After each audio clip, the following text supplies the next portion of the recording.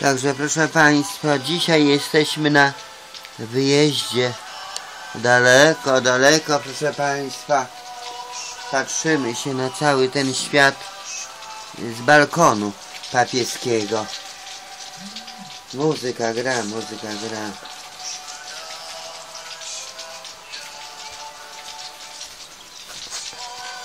Leje deszcz, leje deszcz, leje deszcz.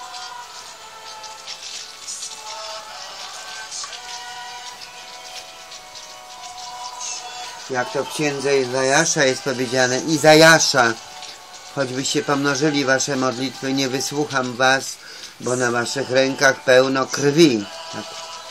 Kto by to pomyślał, że w świątyni była też prostytucja sakralna w czasie Salomona i w ogóle. Kto by to pomyślał? A była, była. Kłamstwo.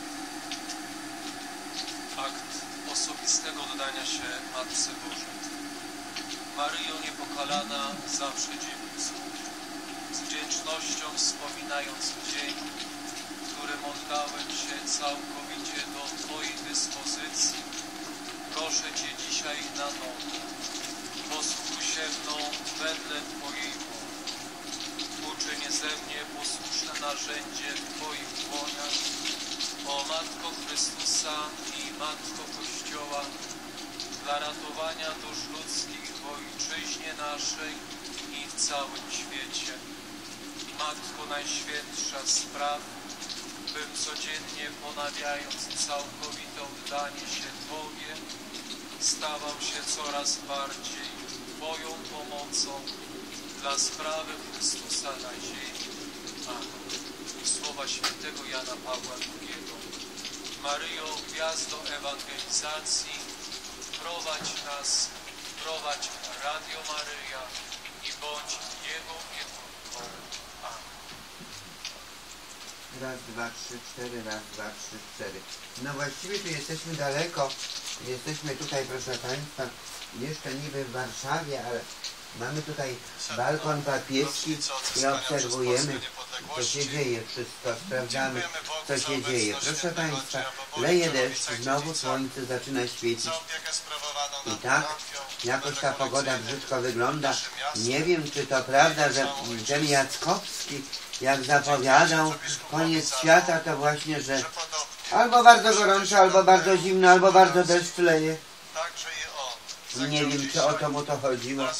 Czy ten Jackowski jest niespełna zmysłów i ten swój wzrok taki poważny, że to niby prawda, co on mówi. Daj spokój.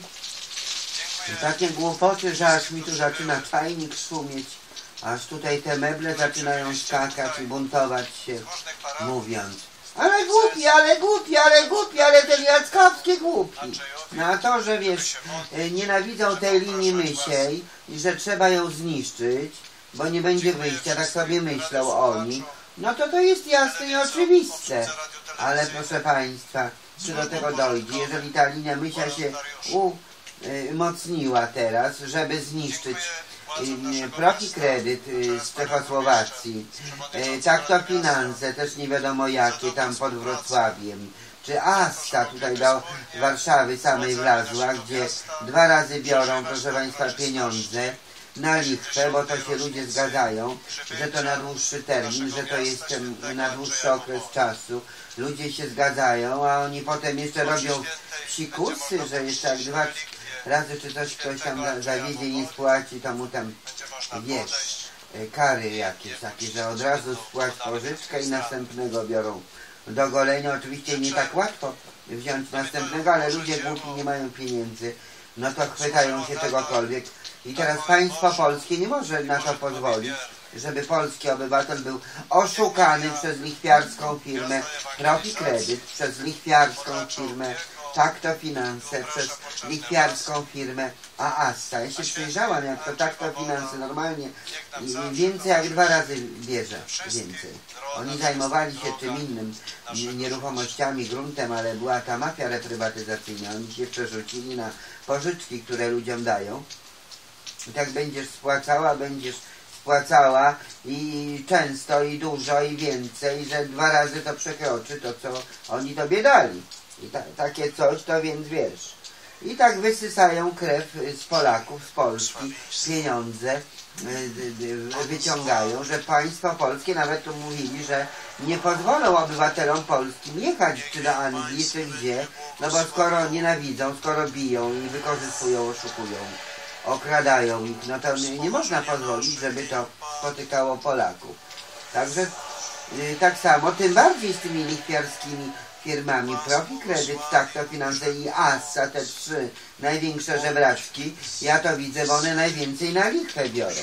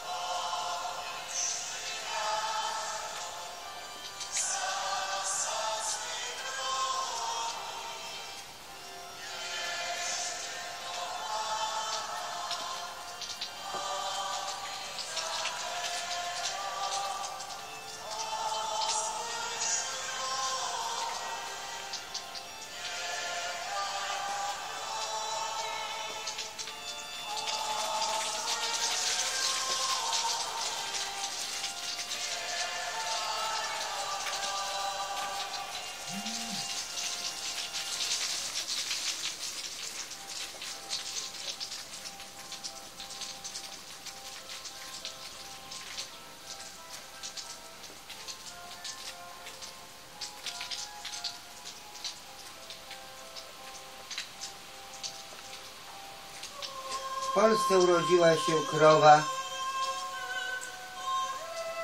z dwiema głowami.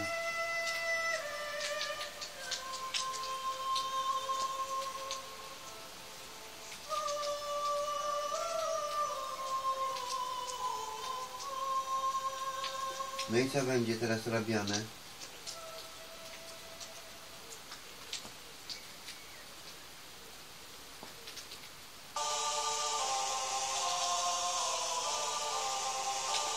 Także proszę Państwa, Radio Tok FM Euro, Conchita, Barbie, Baby, Langstrom Extra.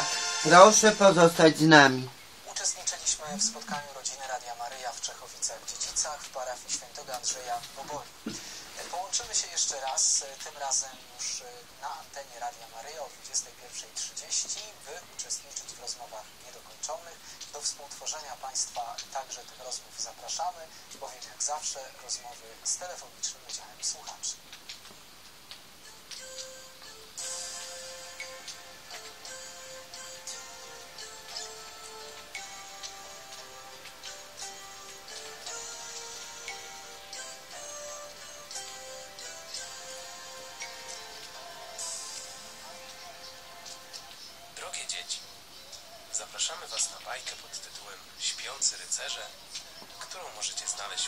Pod tytułem Bajarka opowiada.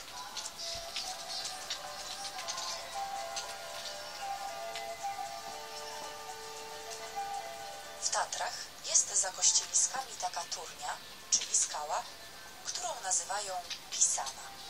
Mówią o niej górale, że tam w głębi leży wojsko uśpione, a to wojsko kiedyś się zbudzi. No. Skąd się o tym dowiedzieli? Opowiem. Tak.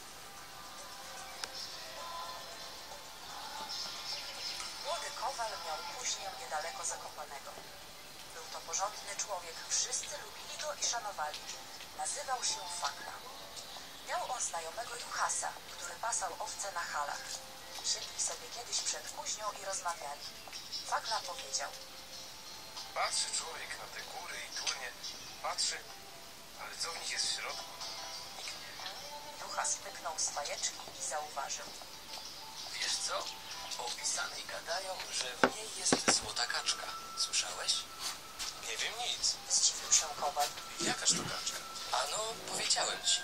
Złota kaczka. Pływa po jeziorze tam w środku skały. Z tego jeziora wypływa Dunajec. Ta kaczka znosi diamentowe jaja, ale tylko jedno na rok. Ej, żeby tak wiedzieć, którego dnia ta kaczka się niesie, żeby tak odebrać diamentowe jajo. Zakrzyknął Fakla. Juchas na to. Myślisz, że nie próbowałem? Wlazłem już raz w ten żleb, z którego woda wypływa. Dobierałem się w głąb, ile mogłem, ale nie dałem rady. Woda była taka zimna, jakbym wpadł w przerębel. A tu mrok. Żleb coraz węższy, skały po bokach coraz wyższe. Ja bym przelazł. Tak ci się zdaje, boś nie próbował. Wiesz przecie, że ze mnie chłopak mocny. Po skałach chodzić przywykłem i byle czego się nie ulęknę. A nie udało się. Przemilczeli chwilę, a potem Juchas dodał.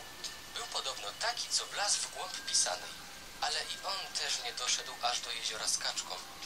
Postrzegą jej młode boginki, a one tak tego chłopaka wabiły i tumaniły, że gonił za nimi to tu, to tam i ani się spostrzegł, jak go wyprowadziły z powrotem do żlebu. Wtedy skała się zatrzasnęła i musiał zawrócić. Po tej rozmowie Kowal myślał nad tym, jakby się dostać w głąb turni.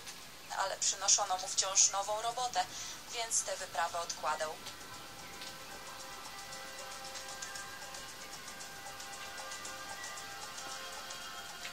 Aż tu pewnego ranka, kiedy był w kuźni sam, przyszedł do niego nieznany gość. Cały w żelazną zbroję zakuty, nawet na głowie miał hełm stalowy. Twarz jego była młoda i dziwnie piękna, ale długa broda zwisała mu aż po pas. Pochwalił Pana Boga, położył na ławie ciężką sakwę i powiedział. Chciałbym, żebyś mi paść wykuł złote podkowy i klince do ich przybijania. Czy podejmiesz się takiej roboty? Czemu nie? Powiedział Fakla. Od tego jestem kowalem. Tylko musielibyście dać złoto na podkowy, bo skąd bym je wziął? Wojak otworzył sakwę, a tam były złote dukaty i połamane złote podkowy. Zabrali się do pracy. Fakla kół, wojak poruszał miech. Robota szła tak wartko, że słońce stało jeszcze wysoko, kiedy skończyli. Wtedy tamten kazał fakli złożyć to wszystko do torby i pójść z nim w góry. Wojak szedł przodem, a fakla z podkowami za nim. Minęli kościeliska, zaszli pod pisaną, aż tu wojak obraca się ku fakli i mówi. Teraz się nie bój, ale pamiętaj, żebyś mi się cicho sprawował i niech cię Bóg broni, żebyś miał zakląć, bo mogłaby z tego wyniknąć bieda. Weszli między głazy i szczeliny, a skały jakby się przed nimi rozstępowały. Po mozolnej wędrówce znaleźli się wreszcie w głębi turni. Mroczno tam było, tylko gdzieś z boku trochę światła wpadało do pieczary przez mały otwór w skale. Fakla rozejrzał się ostrożnie dookoła, a tam tyle ludzi. Wszyscy leżą, głowy mają oparte o siodła, na sobie zbroje, a brody po pas. Co to za jedni? Zapytał szeptem tego wojaka, co go tu wprowadził. Tamten odpowiedział. To jest polskie wojsko uśpione. Przyjdzie czas, że ci rycerze się pobudzą i pójdą walczyć za wiarę. Będzie wtedy okrutna wojna. Zacznie się gdzieś daleko, ale skończy się tutaj, koło Zakopanego, na żelaznym mostku w Kuźnicach. Były w tej pieczarze także konie. Należało niektóre z nich przekuć. Kowal dobierał podkowy i wbijał klince, a wojak trzymał koniom nogi. Kiedy ukończyli robotę, wojak nabrał stróżyn z kopyt, nasypał ich pełno kowalowi do torby i mówi. Masz tu waść zapłatę. Fakla pomyślał, że rycerz z niego kpi. Ale nie sprzeczał się, choć markotno mu było, że cały dzień stracił darmo. Co prawda widział za to coś jeszcze ciekawszego niż złota kaczka, bo całe starodawne wojsko uśpione. Słyszał już od niektórych górali, że takie wojsko gdzieś śpi w Tatrach pod ziemią, ale nikt nie wiedział, w którym miejscu. Dopiero teraz się okazało, że ono śpi pod Pisaną. Byli i tacy, co powiadali, że to sam król Chrobry ze swoją drużyną i że jak oni się zbudzą i pójdą w bój, to zwyciężą wszystkich wrogów, a Polska stanie się tak potężna, jak nigdy przedtem. Rozmyślając o tym wszystkim, wyszedł fakla z pieczary. Kiedy nikt go już nie mógł widzieć, wysypał stróżyny do potoku. Po co on to dźwigać? Co mi po tym? Wtem poczuł, gdy wyszedł na pole, że coś mu się w torbie kołacze. Zajrzał, a to kilkanaście złotych dukatów. Wszystkie stróżyny wytrzepał przedtem dokładnie z torby, a te, które w niej uwięzły, zamieniły się w złoto. Jakże teraz żałował, że wytrząsł ich przedtem pełen worek. Gdyby tego nie zrobił, stałby się od razu bogatym człowiekiem. Wrócił do domu, a żona przyjęła go wymówkami. Gdzieżeś się podziewał przez całe trzy dni? Czemu żeś nie powiedział, że ci w domu nie będzie? Tak mi się bała. Czyś gdzie w górach nie przepadł? Zdziwił się fakla. Jemu się zdawało, że tylko niedługą chwilę zabawił w pieczarze. Nie powiedział żonie, gdzie był, bo mu wojak zabronił. Tylko pokazał jej dukaty, a żona, jak zobaczyła, że mąż tyle zarobił, uspokoiła się zaraz i nie miała już do niego żalu. Minęło kilka lat. Kowalku nadal to kosy, to lemiesze, to podkowy. Co mu się trafiło? Wtem pojawił się znowu ten sam rycerz i poprosił o złote podkowy. I znów zabrał faklę w głąb pisanej. Tym razem nie będę tak głupi i nie wyrzucę stróży. pomyślał kowal. Zabrał się do kucia koni. Wtem zaciął się w palec i zaklął głośno. Podajcie czart. A tu nagle budzą się naokoło niego uśpieni rycerze, podnoszą się, a kowala aż dreszcz przechodzi ze strachu. Jeden z rycerzy pyta. Bracie, czy już czas? Na to odpowiada ten, co przychodził po podkowy. Nie czas jeszcze, śpij dalej. Tamci pokładli się z powrotem, a on spojrzał ostro na kowala i palcem mu pogroził. Kiedy podkuli konie, wojak nasypał stróżyn do torby kowala i wyprowadził go z pieczary. Fakla czekał, żeby mu torba ociężała. Byłby to znak, że stróżyny zamieniły się już w dukaty. Ale torba wciąż pozostawała lekka i nic w niej nie pobrzękiwało. Zajrzał do niej. Same stróżyny. Z gniewem wyrzucił stróżyny do potoka. Ale zaraz się opamiętał, zrozumiał, że to kara za przekleństwo. Było mu jednak markotno, bo miał nadzieję, że tym razem zdobędzie bogactwo. W powrotnej drodze wstąpił do karczmy, żeby się rozweselić w kompanii, a tam nie wytrzymał i wygadał się przed karczmarzem o swojej przygodzie. Ten rozpowiedział o niej szeroko i w taki to sposób wszyscy się dowiedzieli, gdzie śpi podziemne wojsko. Kowal wyrzucał sobie, że nie umiał utrzymać języka za zębami, jak mu rycerz nakazał. Będzie się na mnie gniewał. się wytłumaczę. Zastanawiał się strapiony. Widać, rycerz rozgniewał się bardzo, bo w ogóle nie zjawił się już u fakli. Mijał rok za rokiem, a fakla czekał go daremnie. Kowalowi było bardzo przykro, że zawiódł zaufanie rycerza. Kiedy go ludzie wypytywali o jego przygodę, nie chciał nic o niej mówić. Czasem nawet płakał z żalu. Jedni powiadali, że konie śpiącego wojska stoją niepodkute, a kiedy wybije najważniejsza godzina, nie będą gotowe do boju. Inni mówili, że to nieprawda, bo tamten wojak nadal pilnuje porządku. Przekonał się, że fakla nie umie dochować tajemnicy, więc poszedł do innego kowala i tamten mu konie kuje, ale się tym nie chwali. Mówili jeszcze, a nie wiadomo skąd się o tym dowiedzieli, że wojak nie wrócił do fakli dlatego także, ponieważ konie tamtego rycerstwa może kuć tylko taki kowal, który ma czyste serce. A fakla w przekleństwie wspomniał diabła i później podpił sobie w karczmie. To wszystko działo się dawno, może ze sto lat temu.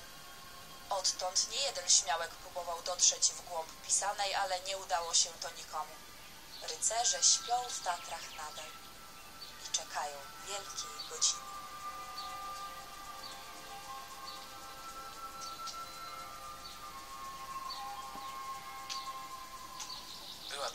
Śpiący rycerze, a czytali ją dla Was studenci Wyższej Szkoły Kultury Społecznej i Medialnej w Toruniu.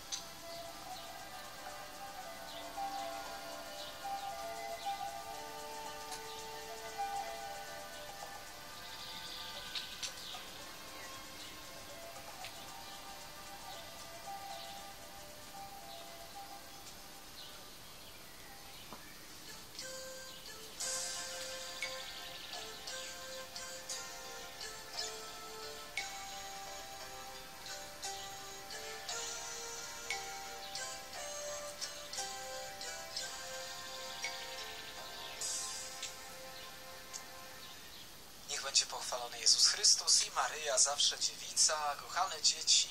No, mamy poniedziałek, zwykle w poniedziałki e, nie mamy możliwości spotkać się na antenie, a dzisiaj taka możliwość się pojawiła. Bardzo się cieszę, że możemy być razem z Wami. Zapraszam Was jeszcze przez chwilę na wspólną modlitwę, którą możecie na antenie poprowadzić. Numery telefonów 56 655 23 55 to numer dla dzieci z Polski Północnej.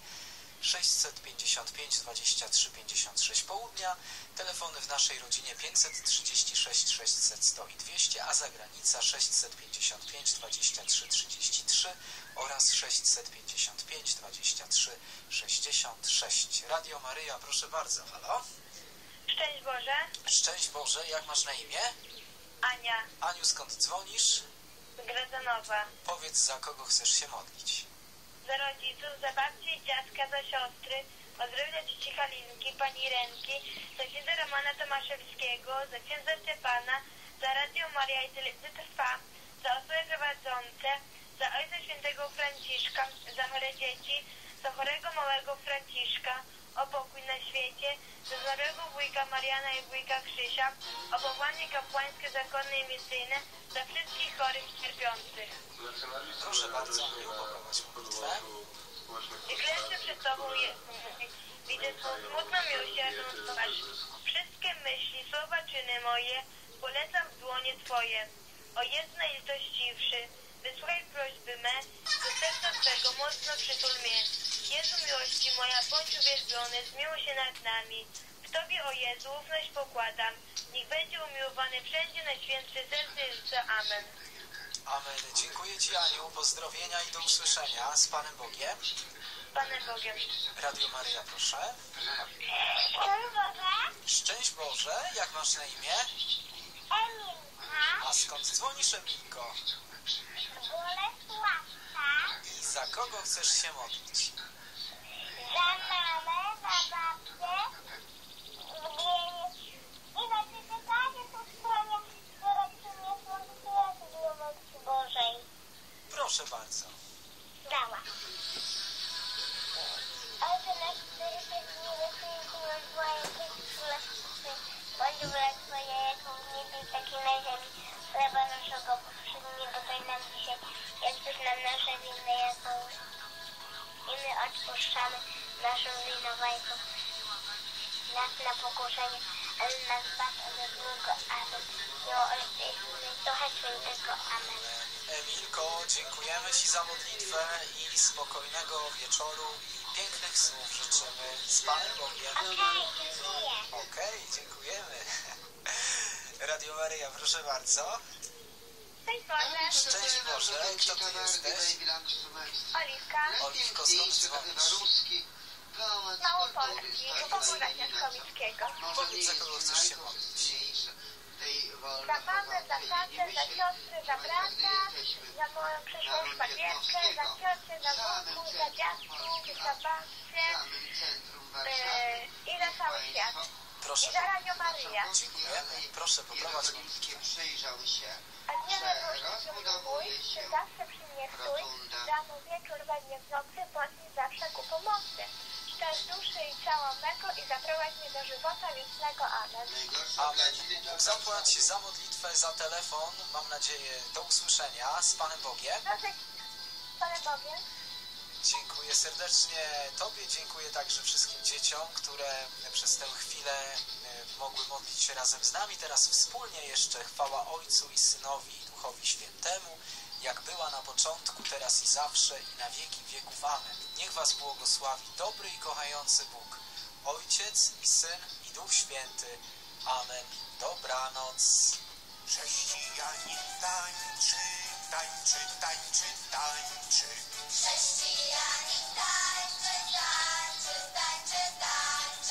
Kochane dzieci, przyjaciele z podwórkowych kółek różańcowych, hurra, rozpoczęliśmy wakacje. Ostatni dzwonek zakończył rok szkolny.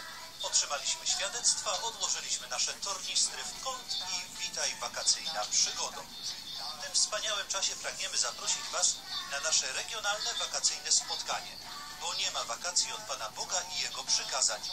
Już 3 lipca we wtorek w ramach Wielkiego Odpustu pielgrzymować będziemy do Sanktuarium Matki Bożej Tuchowskiej w Tuchowie w diecezji tarnowskiej. Rozpoczęcie o godzinie 14 w pierwszej części spotkanie z Magdą Buczek, założycielką podwórkowych kółek różańcowych oraz koncert w wykonaniu księdza biskupa Antoniego Długosza i zespołu Pokolenia. O godzinie 15 modlitwa ku czci Bożego Miłosierdzia oraz msza święta, której przewodniczyć będzie nasz wielki przyjaciel ksiądz biskup Antoni Długosz. Na zakończenie uroczystości procesja eucharystyczna i błogosławieństwo Najświętszym Sakramentem udzielane dzieciom. Rodziców, księży, opiekunów, wychowawców i siostry zakonne gorąco prosimy. Pomóżcie dzieciom zorganizować wyjazd na nasze wakacyjne spotkanie. Kochane dzieci z diecezji tarnowskiej, z okolicznych diecezji, a nawet z całej Polski. Czekamy na Was, na Waszych kolegów i koleżanki. Czeka na Was Tuchowska Pani. Spotkajmy się 3 lipca we wtorek w Tuchowie.